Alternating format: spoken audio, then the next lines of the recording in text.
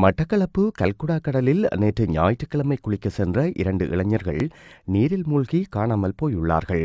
இது குறித்து தகவல் அறிந்த குறித்த இளைஞர்களின் பெற்றோர்களான சண்முகம் மற்றும் அவரது மனைவி யோகேஸ்வரி சண்முகம் ஆகியோர் இன்று அதிகாலை தற்கொலை செய்து கொண்டுள்ளார்கள்.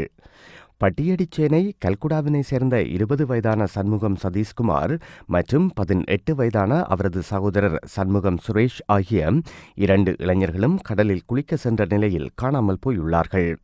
அவர்களுடன் குளிக்க சென்றபோது நீரில் மூழ்கிய மேலும் இரண்டு இளைஞர்களை பிரதேச மீனவர்களும் போலீசாரும் மீட்டு வாழைச்சேனை வைத்தியசாலையில் அனுமதித்துள்ளார்கள்.